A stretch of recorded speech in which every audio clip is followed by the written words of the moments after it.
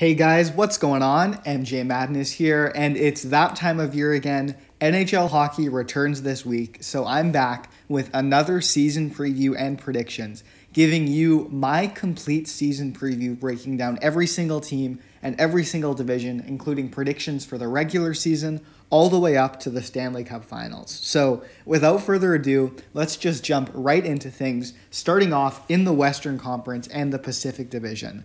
I'm going to start off with the worst team in this division. And so in eighth place, I'm going with the Seattle Kraken. I think the Kraken are just a classic expansion team. And maybe people got their hopes up with Vegas, but I think this is a squad that's going to take some time to build. I like how they've drafted. I think they have a few nice young pieces but this is still a team that I think is a couple years away from being a couple years away. So let's wait and see with Seattle. I think there'll be still a few more years of them getting high draft picks. But just above Seattle in seventh place, the San Jose Sharks. I'm not really sure what to make of the Sharks because there are still some talented veterans on this team, but at what point do you just say, this is a team that is in the place it's in? Because they've had a few disappointing seasons in a row now, brought in a new general manager, but still, this is a tricky situation for the Sharks because they're locked into some bad contracts for aging veterans who don't have as much talent anymore. The Vlasic contract in particular definitely hurts. I also don't see much young talent in the system just yet. So I think the Sharks are in a bit of a tough spot as far as rebuilding goes. But maybe they'll head in the right direction if they have a bad year this year and get a high draft pick. We'll see how things go down in the Bay Area. But sticking within California for our sixth place team, the Anaheim Ducks, also rebuilding, but I think have a much stronger trajectory of rebuilding because the Ducks already are building some nice young talent. And so I think they are heading the right way. Still not close to being there yet, but I wouldn't be surprised in a few years to see them having more success in this Pacific Division. But those three teams, San Jose, Seattle, Anaheim, I think are kind of a tier by themselves, the bottom three. Any of these top five, I could see having an outside chance at contending for a playoff spot. And so in fifth place, I have the Vancouver Canucks because the Canucks, they're also, I think, in a tough kind of mushy middle situation. I think it would be better long term for their for them to either go all in, which I don't think they have the pieces to do so. So instead, I think they should break it all down. Instead, it seems like they're kind of clinging to trying to contend, maybe a little bit. So I could see them maybe putting together an outside playoff push. They do have strong goaltending, a few superstar talents, potentially if they can bounce back. So we'll see how it all plays out in Vancouver. But I see this team maybe sticking uh, close to a playoff spot, but kind of fading down the stretch. So that's why I have them in fifth. The team I have in fourth, also not super sure how to peg them.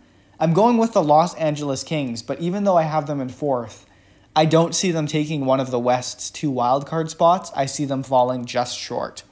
The reason for that, I think, is this is a team that's rebuilding. They were ahead of schedule, making the playoffs last year. I still think this is going to be a strong year from them, but I still am not completely convinced the rebuild is over just yet. So this is one I'm not sure about. I could totally see them sneaking into the playoffs, uh, especially with a division that seems weaker and wide open like the Pacific. I think this is probably the most open, or I guess that's a nice way to put it, least strong division in hockey. So the open opportunity is there for the Kings to again sneak into a playoff spot, but I don't know. I look at those teams in the Central Division. I think they're going to be taking the wild card spots in this conference. And so, even though I see the vision in Los Angeles, I like the moves the team is making. I think they're going to be close to a playoff spot, but somebody's got to be on the outside looking in. And so, the Kings are maybe who I'll say are ninth in the West and then fourth in this division, just kind of falling a little shy of a playoff spot. But with the Kings falling out of a playoff spot, even though they were in one last year, that means some new blood needs to come in to replace them. And so, in third place, a team that missed the playoffs last season that I see making it back, I'm going with the Vegas Golden Knights. The Golden Knights, man oh man, what a disappointment last year. Um, but I think they have too much talent not to bounce back, at least a little bit.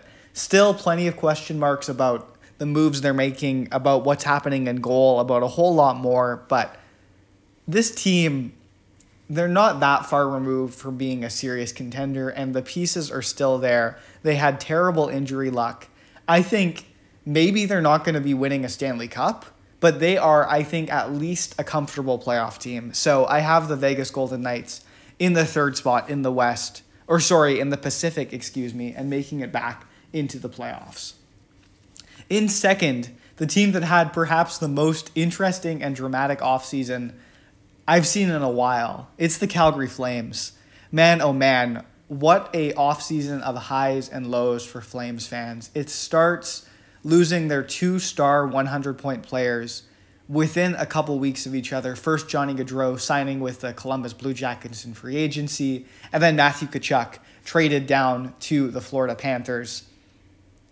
I'm not going to lie, it looked very bleak for the Flames for a little while there. And how do you recover from losing two superstars like that? Well, general manager Brad Treliving made very clear with his subsequent moves that no, this team isn't going to roll over and start a rebuild. They're going to go all in with what they can do. And so, in one of the best general manager performances I've seen in a while, Brad Treliving found a way to pivot. And I'm so impressed at how he did so because he got a haul in return for Tkachuk, bringing in Jonathan Huberdeau, another 100 point scorer from the Florida Panthers, along with Mackenzie Weegar, who I think is a bona fide top pairing defenseman. And so, after all of that, along with a signing in free agency of Nazem Kadri, who had a huge year last year, the Calgary Flames have completely remodeled their roster, but they still look like they could be back being a team that has a lot of success. And so, I'm not sure how it's all going to pan out long term. There are a lot of older players on some longer contracts, but at least for right now, you have to respect the moves that went down in Calgary because this is a team that on paper looks very competitive. We'll have to see how everybody gels, but I mean, they have a great goaltender in Jacob Markstrom, Vezina finalist. If he can keep things together in the playoffs, they have maybe the strongest defense core in hockey in terms of just depth top to bottom without maybe that one superstar like a Cale Makar in Colorado, but just overall a bunch of really, really solid players. And then now offensive talent still, even though it's not Tkachuk and Gaudreau, now they have Huberdeau and Kadri and great depth, great supporting pieces around them. And so I think Calgary will be fun to watch, and I have them in second place in this division. But the team I have in first place it's the Battle of Alberta, and at least in the regular season, I see the Edmonton Oilers coming out on top with more points. Connor McDavid, Leon Draisaitl. What else is there to be said about them that hasn't already been discussed? These two are mercurial talents. We're very lucky to watch them. Edmonton is lucky to have them. And now that they've brought in Jack Campbell in goal, this team could be interesting. I'm not sure if Campbell is the answer, but I think he could at least be a step up on their goaltending situations in years past. And I think the team is slowly stabilizing, they're getting better, building experience. And so I think that's enough for at least a very successful regular season in a Pacific Division that, like I mentioned, seems to be a little bit more wide open. And so I have the Oilers coming out in first place in the Pacific this season. But that's going to wrap up my discussion of the Pacific Division. Now pivoting over to the Central Division, the other Western Conference division. Here at the bottom of the barrel, in eighth place in the Central, and I will say it now, in 32nd place in the entire league, or last, I'm going with the Arizona Coyotes. Boy, oh boy, what is going on in the desert? Please let me know. It's crazy. This team, they're playing now at a college hockey arena they have absolutely zero NHL level talent on their roster. It's just, it's a bit of a disaster, and I'm scared for the future of this team. But to their credit, what I do respect is that there is no shame in the rebuild. They are tearing things down. They are using their cap space. They are bringing in draft picks. They are, without shame, committing to a full blown tank job, which has continued, I think, for the past couple years and might continue a little bit more. And so this team's going to be dreadful. I don't think that's a hot take, but I do at least respect the commitment to tanking, especially with some very high end prospects, uh, highlighted by Connor Bedard coming up in this upcoming draft. So I have the Coyotes at eighth place in this division, eighth place in the league. Sorry, 32nd place in the league. Uh, in seventh place in the Central, another team that seems to be in a bit of a tough spot, but I respect the commitment to the rebuild. That's the Chicago Blackhawks. Made some weird trades, still kind of have Kane and Toews in that sort of limbo. Um, I'm not sure what to make of them, but I think they are at least tending towards a rebuild, which I respect. I think they need to commit to it fully, move on from those veteran pieces. The Seth Jones contract is going to haunt them a little bit, but they've got some new management in, and so I think this is going to be a pretty clear tanking season in Chicago, and I think that's the right move for them to make. Six on up are all teams that I see at least hoping to varying degrees of success to be competitive. Out of that pool of six, in sixth place, the least successful of the teams, at least pretending to compete for a playoff spot, the Winnipeg Jets. There are a few Canadian teams in tough spots. I think the Jets are one of them because the Jets still have talent, but they are in that dreaded mushy middle. And I feel like I could make a whole video about it because I feel very strongly it is the worst place to be in sports. You aren't good enough to bottom, you aren't bad enough, should I say, to completely bottom out, rebuild, get those draft picks you need, get those high end prospects. You also also aren't good enough to seriously contend. And so you're a bubble team on the outside looking in. If you make the playoffs, not really making any noise, and it's purgatory. It's really, really a tough spot to be in. No team should try to stay there for long. I hope I'm wrong for Winnipeg's sake, but from the outside looking in, I'm worried this is going to be one of those teams stuck on that treadmill of mediocrity for a couple years at least. And so, sorry to say it, Winnipeg, maybe you surprise. Not sure about your coaching moves, not sure about the offseason moves. I have them in sixth this season. In fifth place, this may sound like, oh, a low position, but remember there are two wildcard spots in the West after the top three in each division. I have this team snagging a wildcard spot it's the Nashville Predators. The Predators, maybe I would say a more successful version of the Jets. They are also, I think, a little bit in that middle ground. I don't think they seriously have what it takes to contend for a cup, but I think they're a playoff team, and maybe that's good enough. Uh, the biggest reason for that, I love Juuse Saros in net. There are a string of strong goalies in this category. Connor Hellebuyck in Winnipeg, if he bounces back, he could drag them to a playoff spot. Uh, it's totally possible. But Juuse Saros is another just solid, solid goaltender. I love how he does it despite being smaller stature. Really just continuing that lineage of strong goaltending in Nashville. They also made a couple nice moves in the offseason. And so I like what they're doing in Nashville in terms of building a playoff team. Not necessarily a contending team, but if you are satisfied with a first round playoff exit, which, like I mentioned with my mushy middle tangent, you shouldn't be. But if you are, Nashville's designed a team that I think can do that. And so I have them coming in here in fifth. In fourth place, similar, similar boat, the Dallas Stars. The Stars are kind of fading out or phasing out the old guard with Tyler Seguin, Jamie Benn, Radulov.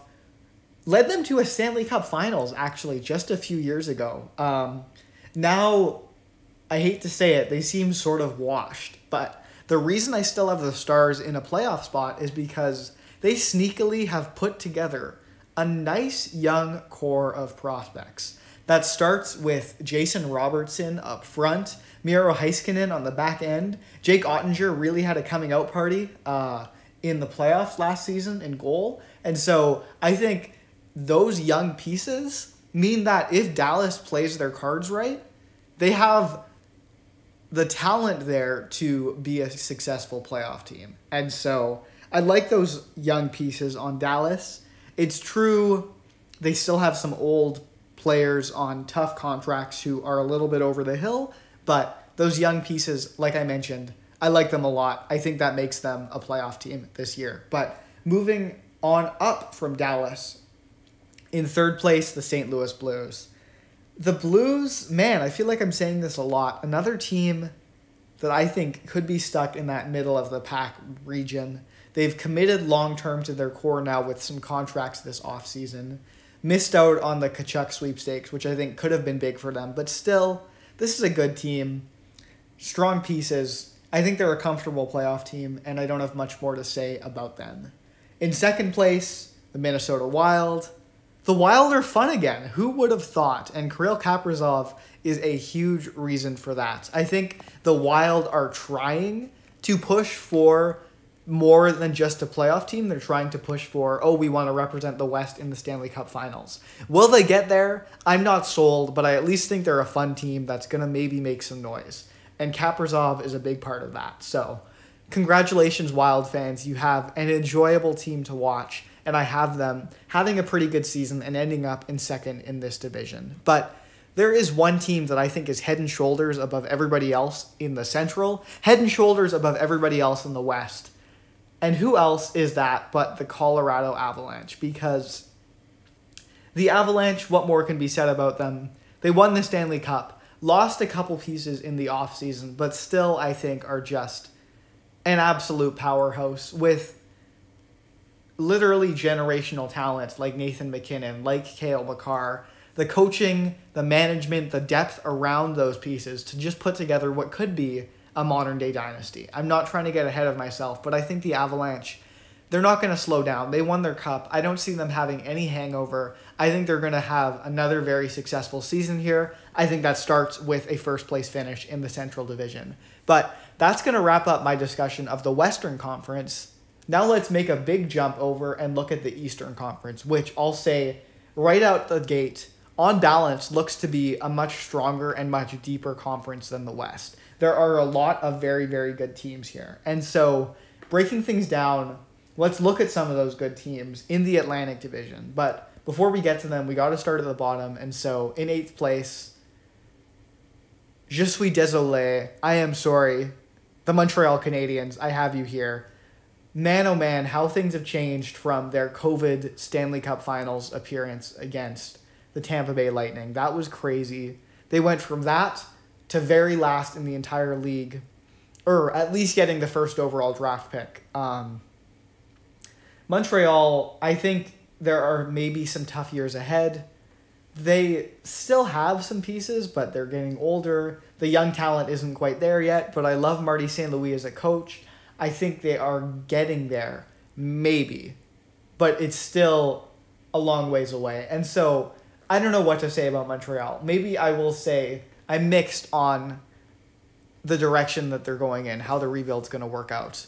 Uh, but I think one thing that is I'm more certain about, I think they're going to be a bad team. So I have them in eighth place.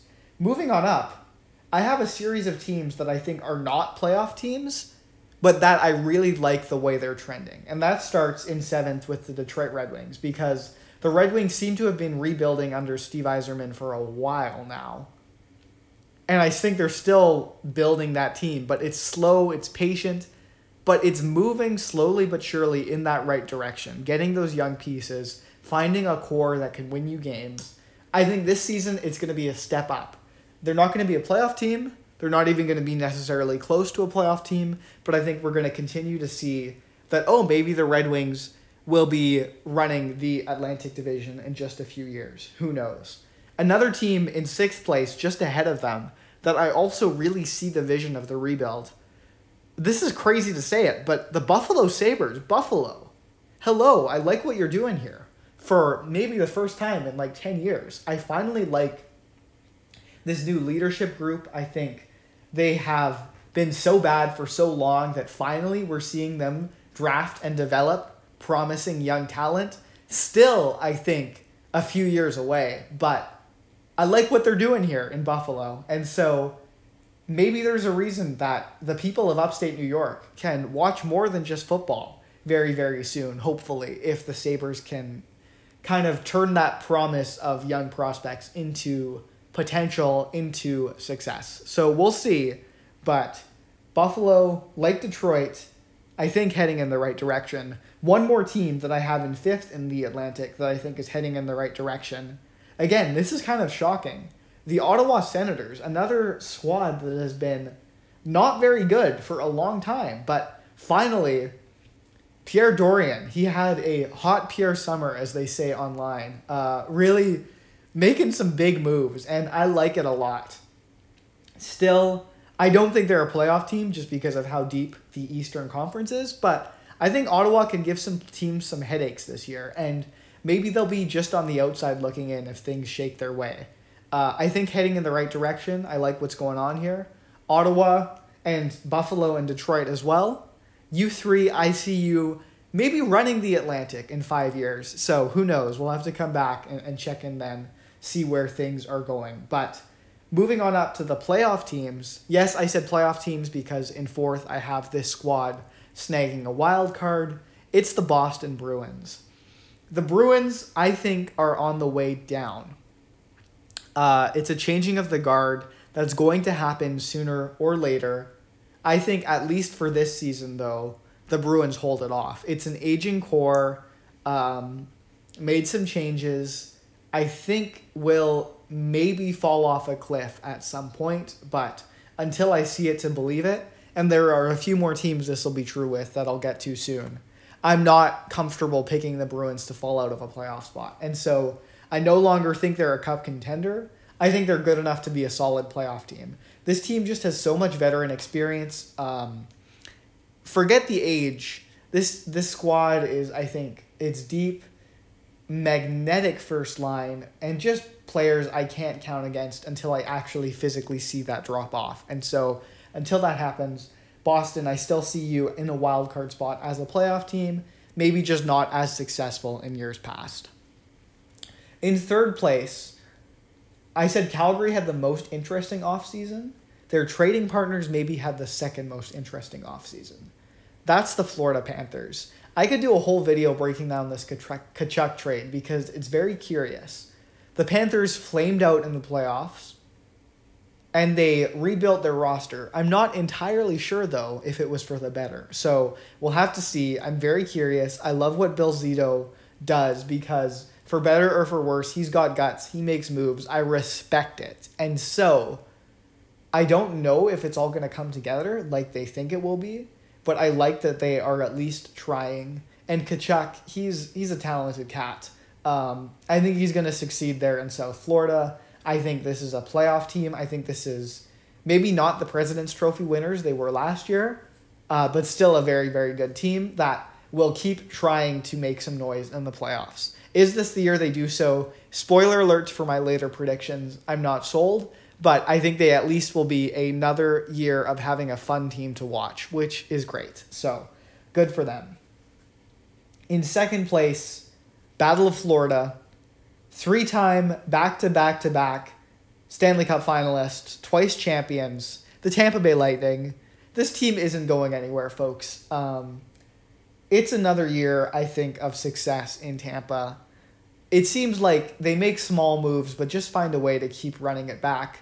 I see no reason why this year will be different. Tampa Bay, I see them in second place. But again, they're looking beyond the regular season here. And so there's not much more to say. This team is great, and they're going to continue to be great. In first place, though, another team that I think is looking beyond the regular season there's always a lot to say about the beloved and also hated Toronto Maple Leafs. Oh boy, the Leafs, the Leafs, the Leafs. Another first round playoff exit, another disappointment. It really feels like, at least for me personally, this is do or die time. This might be the last year for this core with Kyle Dubas to see if they can finally get over that hump, make it past the first round in the playoffs. I'm not sold on Matt Murray being the answer in goal to do that. Are you guys? Let me know because I'm not. I'm really just not. It seems like that's a pretty big bet. And I know, I know he's he's had playoff success in the past, but that was a while ago. So that's my doubt. But looking just strictly at regular season standings predictions, there's no reason to think the Leafs won't again have a very successful regular season. Auston Matthews, incredible talent. He's got some high scoring running mates alongside him. The Leafs are going to make some noise. They're going to score points. They're going to put up big numbers and have at least a successful regular season. So that's why I have them in first place. Will they convert that to playoff success as well? We'll have to wait and see. But that wraps up the Atlantic Division, which means, last but not least, let's talk about the Metropolitan.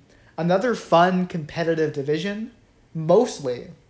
Uh, but there are some teams or one team in particular, I think at the bottom that's in a tougher spot. And so in eighth place, unfortunately for any Philadelphia fans, it's the Philadelphia Flyers. what is Chuck Fletcher doing in the city of brotherly love? If someone knows the answer, let me know because it doesn't look pretty. The Flyers are just in such no man's land. Older players, big contracts, but not a very good team. No young talent, maybe not terrible enough to completely bottom out.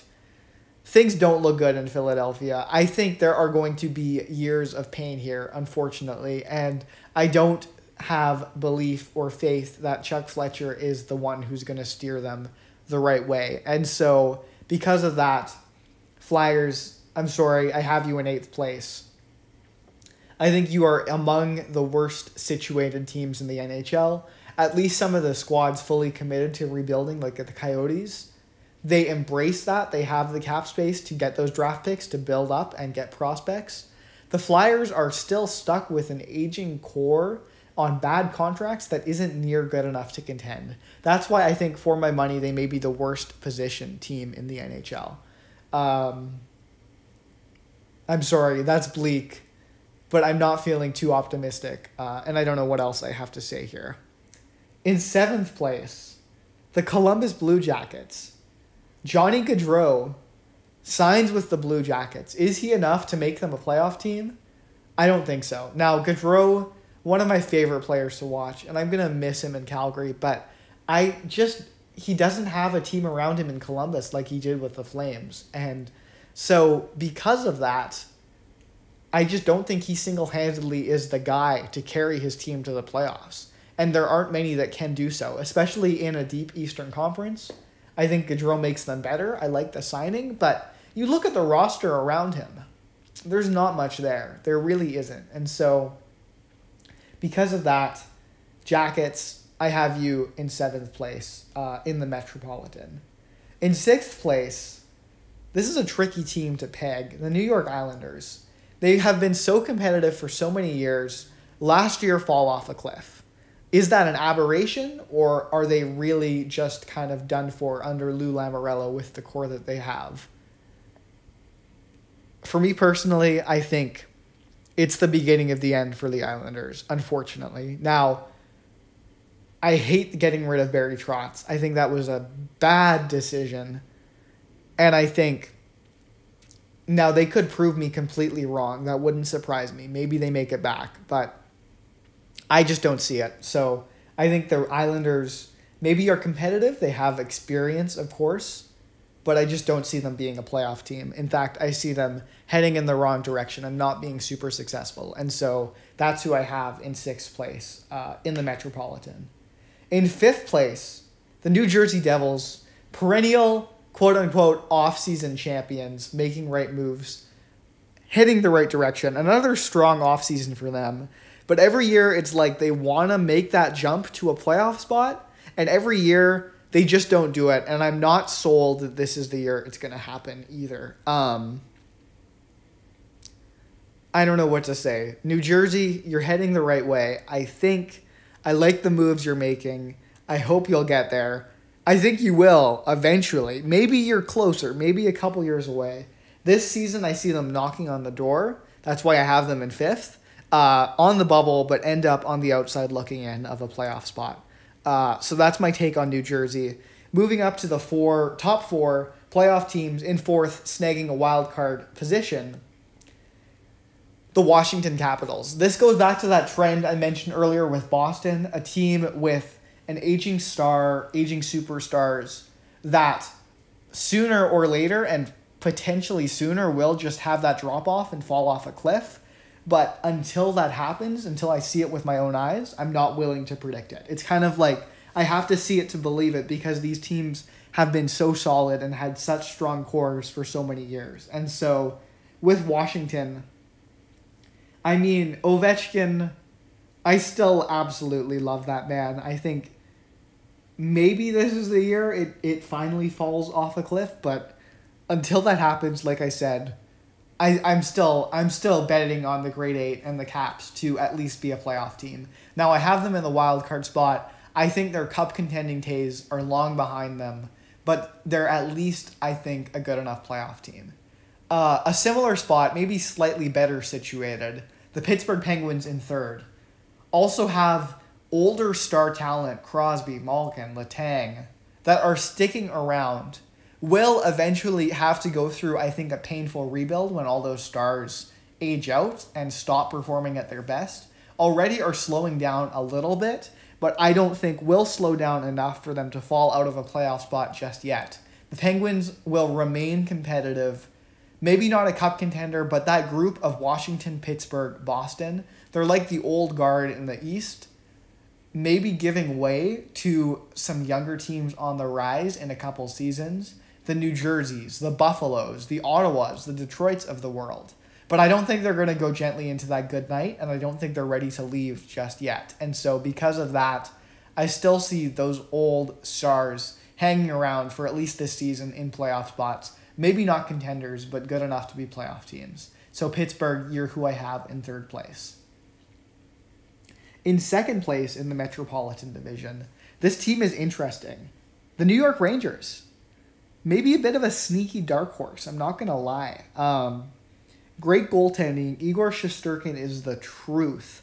But beyond that, I like the moves that the Rangers are making, and I love the talent they have. Uh, really, just on all aspects of hockey forward, defense, goaltending, they have star level talent, which is all that you need uh, to succeed. And so I think the Rangers, maybe the underlying numbers, the analytics don't always support it, but this is a good team just from the eye test, looking at the team on paper, this is a good team.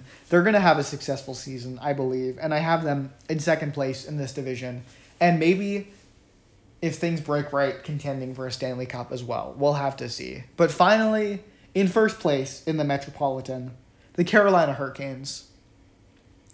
I like what the Canes are doing. I think things are looking up in Raleigh. I won't say too much just yet because I have to get to my playoff predictions, but the Canes made some savvy offseason moves to an already solid roster. They've had some playoff disappointments, but I think they're going to run it back with some improvements and maybe get over the hump. Whether or not that happens remains to be seen, but I believe at least they're going to be a good regular season reg- team.